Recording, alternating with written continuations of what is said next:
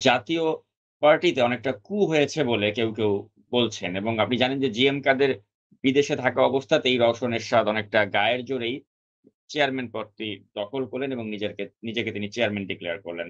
এবং অনেকেই ধারণা করছে যে রওশন এরশাদের কাঁধে ভর করে এই সরকার জাতীয় পার্টির মতো একটা পুতুল বিরোধী দলকে কাজে লাগিয়ে আরেকটা একতরফা নির্বাচনের দিকেই এগোচ্ছে। এবং এটা অন্তত সেরকমই ইঙ্গিত দিচ্ছে।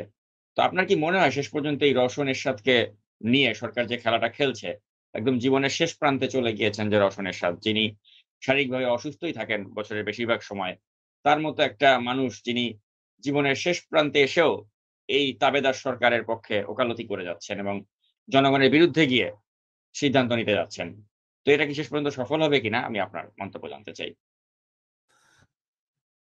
এখানে আমি কি বলব জাতীয় পার্টির আসলে আসল চেয়ারম্যান তো রওশন এরশাদও না জি এম কাদের না। আসল সভানেত্রী বলেন সেটা হচ্ছে শেখ হাসিনা। সে আওয়ামী লীগেরও সভানেত্রী ও জাতীয় পার্টিরও সভানেত্রী। কিন্তু জি এম কাদের সাহেব একটু দলটাকে, জাতীয় পার্টি তো এমনিতেই ধরেন একটা, এটা হচ্ছে ওই যে ভারতের তৈরি একটা রাজনৈতিক দলই আমি মনে তো সুতরাং এরা হচ্ছে আওয়ামী লীগকে সহযোগিতা করার জন্য একটা পরিপূরক এটা তৈরি করেছে। ভারত উনিশশো বিরাশি সালের চব্বিশে মার্চ এরশাদ যখন সামরিক শাসন জারি করে, এরপরে তার বিভিন্ন নয় বছরের ক্ষমতার মধ্যে সেই জাতীয় পার্টি তৈরি করছে। তবে এটা ভারতের স্বার্থ রক্ষা করার জন্য জাতীয় পার্টিকে তৈরি করা হয়েছে, এটা আমাদেরকে ভুললে চলবে না। কিন্তু Jatiya Party at the end of the day Sheikh Hasina হচ্ছে শেষ ডিসিশন মেকার তো সেখানে জি এম কাদের সাহেব একটু ইন্ডিপেন্ডেন্টলি কাজ করতে চাচ্ছে, সে মনে করতেছে এই দলটাতে যদি টিকাইতে চাই, তাহলে আমাকে কিছু ভূমিকা রাখতে হবে এবং এই সরকারের, কারণ এই সরকারের জনপ্রিয়তা যে শূন্যের কোটায় চলে গেছে, এটা জি এম কাদের মতো বুদ্ধিমান মানুষ হয়তো বুঝতে পেরেছে। কিন্তু ঘটনা হলো, শেখ হাসিনা তো আপনার এই জাতীয় পার্টিকে যখন তার দরকার, যেভাবে দরকার সেভাবে ব্যবহার করে।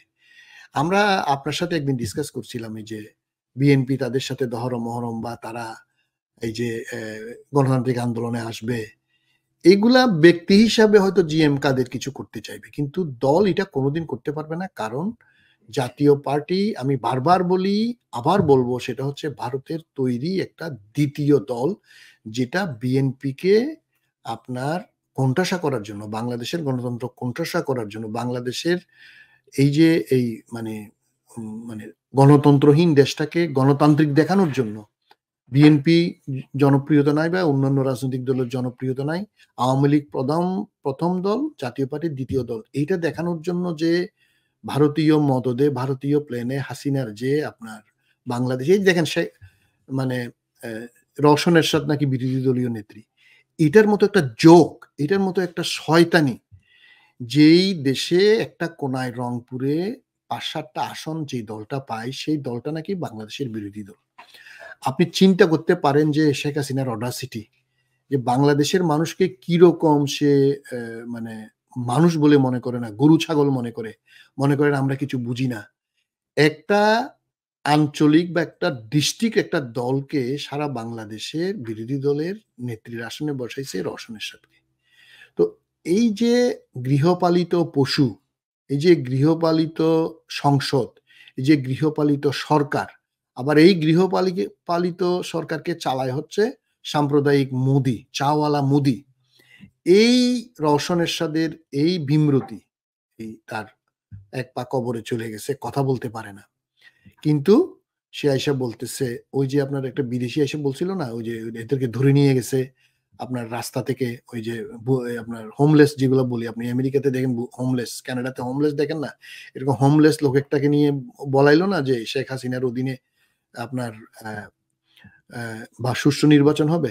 ঠিক এরকম একটা হোমলেসের মতোই তারা দেখতে মনে হয়, এই যে রসনের সাথ। এই হোমলেস মহিলা আপনি এই কারণ তার জীবনে আর কিছু পাওয়ার নাই তো? আসলেই কিন্তু তিনি হোমলেস তিনি বেশিরভাগ সময় নাকি ওয়েস্টিন হোটেলে তিনি থাকেন। একদম খুব জীবন যাপন করেন। বাসার থেকে বেশি ওয়েস্টিনে থাকতে তিনি পছন্দ করেন। মানে আচ্ছা। এতটা আরাম এসে তিনি থাকতে চান। ফাইভ স্টার হোটেলে তিনি থাকতে চান। আপনি দেখেন আপনি দেখেন এই এই আপনার রওশন এরশাদ যদি বাংলাদেশের বিরোধী দলের নেতা হয় তাহলে বাংলাদেশের গণতন্ত্র বলেন বাংলাদেশের আইনের শাসন বলেন বাংলাদেশের মানুষের এই যে মেরুদণ্ডহীন একটা দেশ শেখ হাসিনা বানাইলো, তার আরেকটা একদম নিকৃষ্টতম প্রমাণ হইল এই যে এই আপনার রওশন এরশাদ বিরোধী দলীয় নেতা এবং সে হাসিনার কাছে যায় বলতেছে যে তোমার দ্বারা নির্বাচন সম্ভব এবং সুষ্ঠু নির্বাচন হবে। তো এখানে আমি বাংলাদেশের মানুষের সতর্ক করে করে বলতে চাই, আমরা এত কথা বলছি, ঠিক আছে, কিন্তু শেখ হাসিনার গায়ে এত চর্বি, তার এত হিংসা তার কিন্তু চর্বি হিংসা কোনোটা কমতেছে না। মানে গণতান্ত্রিক বিশ্ব যে তার ব্যাপারে যে সবকিছু জানে, সে মনে করতেছে কেউ কিছু দেখতেছে না। সে আবারও যে একটা কুকর্ম করে আরেকটা নির্বাচন করার জন্য চেষ্টা করতেছে না কিন্তু তা না, সে কিন্তু তার জায়গায় আছে। অর্থাৎ এই যে রওশনের সাথে ডেকে নেওয়া বা ওই জিএম কাদেরকে ভারতে পাঠানো, এর মধ্যে আবার কু করা এই জন্যই বললাম, সে হচ্ছে জাতীয় পার্টির আসল সভানেত্রী। সুতরাং তার কাজ সে করবে, আমাদের কাজ আমরা করব, আন্তর্জাতিক সম্প্রদায়, আন্তর্জাতিক সম্প্রদায়ের কাজ করবে আইসিসির কাজ আইসিসি করবে। সুতরাং আমরা কোনো অবস্থাতেই শেখ হাসিনাকে, তার এইসব কর্মকাণ্ডকে আমরা যেমন ইগনোর করব না, তেমনি খুব বেশি পাত্তা দেওয়ারও দরকার নেই। কিন্তু ইগনোর করব না। এটা হচ্ছে বাংলাদেশের মানুষের কাছে গণতন্ত্র, যারা লড়াই করছেন তাদের প্রতি আমাদের অনুরোধ। এবং এবং সবচেয়ে আপনার উল্লেখযোগ্য জিনিস হলো বাংলাদেশের এই অগণতান্ত্রিক, এই স্বৈরাচারী সরকারের বিরুদ্ধে বিশেষ করে আইসিসি এবং US government and US Congress European পার্লামেন্টও শুরু করছে। যুক্তরাজ্য, কানাডা, অস্ট্রেলিয়াও শুরু করবে সহসা আমি মনে করি।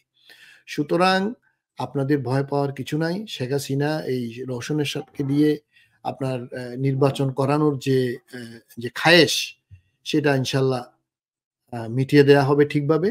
আপনারা এগিয়ে আসুন, আপনারা শক্ত থাকুন এবং বাংলাদেশের গণতন্ত্র ফেরানোর জন্য একতাবদ্ধ হয়ে বিএনপির নেতৃত্বে যে আন্দোলন হচ্ছে, সেখানে অংশগ্রহণ করে স্বৈরাচারের পতন, শেখ হাসিনার বিদেশি পদলেই সরকারকে পতন নিশ্চিত করুন।